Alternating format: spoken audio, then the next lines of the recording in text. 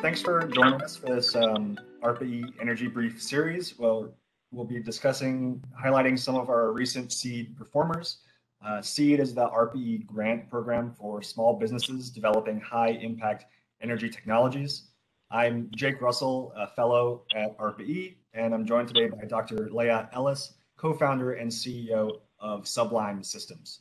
Sublime is commercializing a new method for decarbonizing cement production.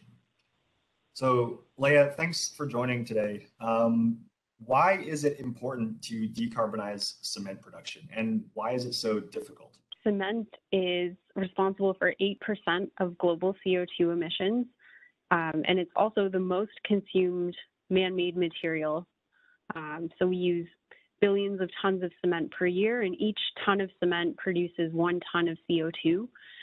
And this is a problem because we're in a pinch situation where we have to reduce our emissions by, by 2050, but also the world's population is growing. And so we have to build more buildings um, and we have to do so in a way that's carbon neutral. So it's becoming more and more important to make, find new ways to make carbon neutral cement. So today, cement is is made in large kilns um, using limestone. So taking limestone and, and cooking it to very high temperatures, 1500 degrees Celsius, um, and that decomposes the, the limestone into a cementitious um, material. And there's very few ways to do that without really high temperatures. So Sublime is trying to, to find a way to do that process um, using renewable electricity at ambient temperatures to, to cut into those that big CO2 footprint. And could you go a bit into the, the process that Sublime is developing. How are you trying to use this electricity to, to decarbonize that process? Yeah, so at Sublime, we're developing an electrolytic reactor that breaks down limestone and releases the calcium from limestone without needing to go to those very high temperatures. So it's uh, an electrolytic reactor that produces acid and base and we use that pH gradient to drive the decomposition of limestone and separate that limestone from the CO2 without cooking the CO2 off of the limestone. And say, compared to traditional cement making processes, is this process more energy efficient or, or um, you know, economically competitive? It's it's not necessarily more energy uh, efficient, you you still have the same thermodynamic limitations when it comes to separating the calcium from the CO2 that's bound to it. Um, but you can go break break break that limestone apart by by a different method. So instead of using um, high temperatures, we're doing it at ambient temperature, and that lets us use intermittent renewable energy, which is increasingly abundant and increasingly cheap. So if you were to use Sublime systems with today's grid electricity, especially if it's you know coal-fired electricity, it's not going to be more carbon neutral, but we're anticipating um, a low carbon future where there's a lot of um, a lot of renewables and a lot of um, intermittent low cost renewables that we can use to make cement. Um, uh, and we expect it will be cost competitive with with how you make cement today, even without green premiums, if we get this at scale. Say like 10 years, you know, where do you see Sublime's place in, in the cement production industry? Uh, are you trying to replace all cement production with, with this electrochemical method?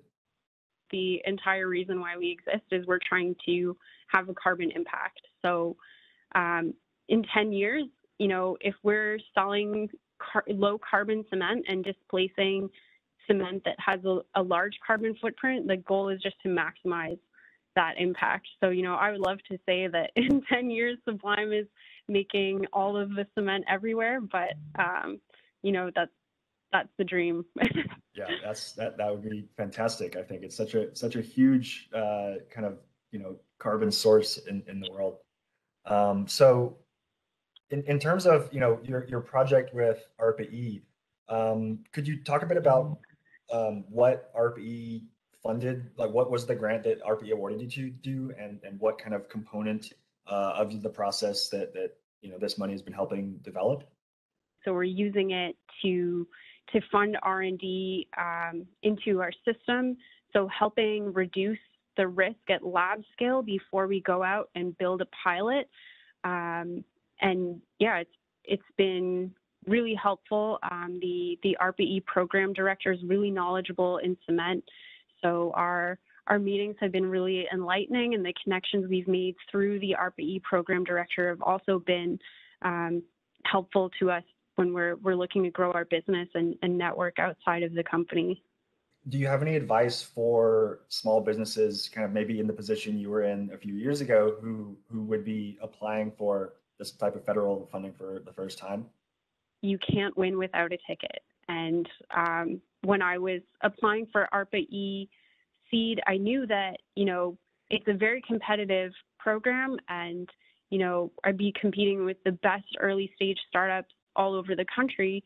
Um, and so I went into it with the can't win, you can't win without a ticket mentality, but I also know that, you know, it is a lot of effort to put together an application for a grant, but it, it really helps at an early stage, especially if you're a solo founder or if you're running a lean team to like document, document all of your risks, put together a plan. And so writing that application and putting that all together is something that would have been helpful for us regardless of whether we won or not. So I would encourage um, any early stage founder to apply for seed. Um, it's a great program. It's it's lean on the uh, on the uh, reporting requirements. I understand they've tailored it to make it easier for for lean startups to put their effort into um, reducing risk. And and so far, it's been a great great experience and a great program. Right. We encourage you know any any small businesses with with high risk uh, early stage energy technologies to to apply. Um, and Leah, it's fantastic to see the the work that Sublime is doing uh, and the success that you've had in, in decarbonizing cement production. So thank you very much for for joining me today. Thanks, Jake. It's been great talking to you.